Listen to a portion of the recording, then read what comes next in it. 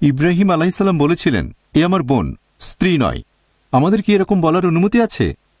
ভাই, আপনি প্রশ্ন করলেন যে ইব্রাহিম আলাইসাল্লাম বলেছিলেন, এ হচ্ছে আমার বোন, আমার স্ত্রী নয়, এটার অনুমতি আছে কিনা? এমনিতে আল্লাহ সুবাহর নির্দেশ হচ্ছে, সবসময় সত্য বলবে। তবে জীবন যদি হুমকিতে থাকে পবিত্রকরণ বলছে, তখন শিরকও করতে পারেন।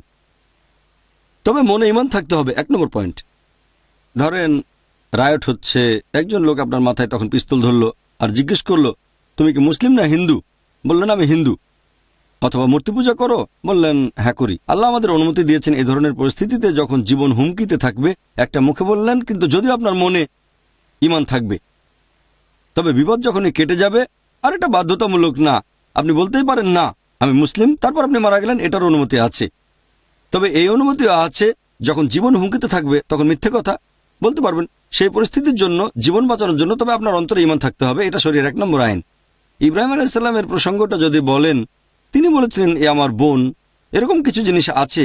আপনারা দেখবেন একটা হাদিস বলছে, একবার এক লোক জিজ্ঞেস করল কয়েকজন সাহাবাকে, তারা মাসাল্লাহ সত্যবাদী ছিলেন। এসব ক্ষেত্রে তাদের উত্তরটা সঠিক ছিল, কিন্তু তারপরও কিছু কথা গোপন করেছেন। যেমন ধরেন, একবারের একটা ঘটনা, এক লোক একজন সাহাবিকে খুঁজে বেড়াচ্ছে।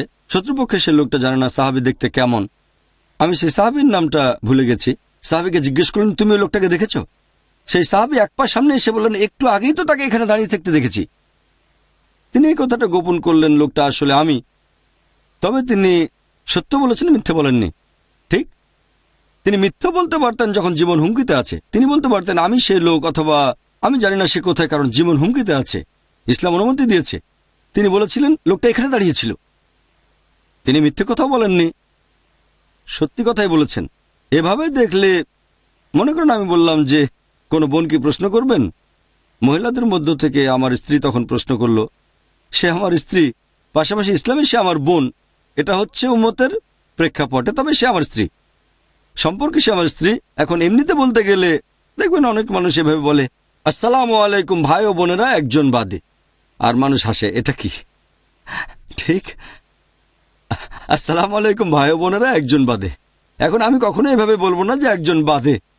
আমার স্ত্রী হয়তো মহিলাদের মধ্যে বসে আছেন। আমি বলব না একজন বাদে। ব্যাপারটা সবাই বুঝবে। এখন বললাম, এবারে কোনো বোনকে প্রশ্ন করবেন? আমি বলছি, ইসলাম ধর্মে বোন, এটা রক্তের সম্পর্কের বোন নয়।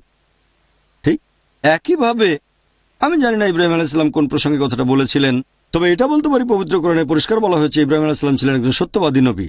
এমন না যে অন্য নবী রাসুলগণ সত্যবাদী ছিলেন না। এখন ইব্রাহিম আলাহিসাল্লামের বিরুদ্ধে অভিযোগ তিনি মিথ্যে বলেছিলেন। আমাকে যদি এই উত্তরে কিছু বলতে হয় এটা হচ্ছে ইসলাম ধর্মের বোন।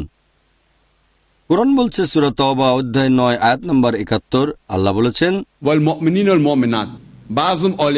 অর্থাৎ মুমিন পুরুষ এবং মহিলা এরা হচ্ছে একে অন্যের সাহায্যকারী। তার মানে এরা একে অন্যের ভাই বোন এভাবে দেখলে ইব্রাহিম ইসলাম কোন প্রসঙ্গে বলেছিলেন জানি না। তবে পবিত্রকরণ বলছে যে ইব্রাহিম ইসলাম ছিলেন সত্যবাদী নবী আমি বিশ্বাস করি। হয়তো কোনো কৌশল অবলম্বন করেছিলেন, সেখানে তিনি কোনো মিথ্যে বলেননি, তবে সমস্যাটা দূর করতে পেরেছেন। আশা করি উত্তরটা পেয়েছেন।